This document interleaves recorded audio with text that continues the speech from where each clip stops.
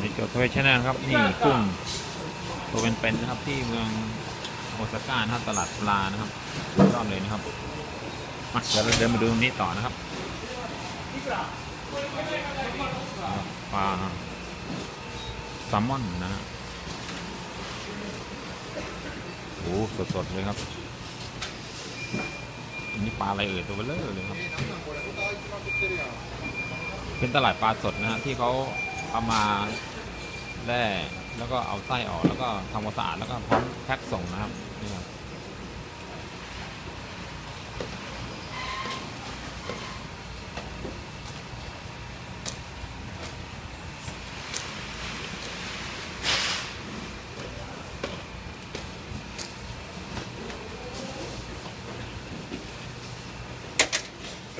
มีหอยมีอะไรก็มีนะครับ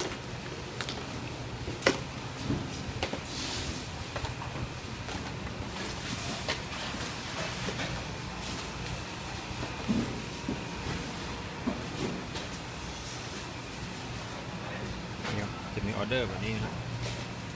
แต่ละร้านละร้านนะครับ มีใบสั่งมาเลยครับ แล้วก็ทำความสะอาดให้เรียบร้อยแล้วครับพา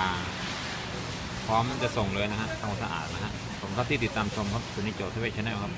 ตลาดปลาเซนทันฟิชมาร์เก็ตโอซาก้าเชปแปนครับ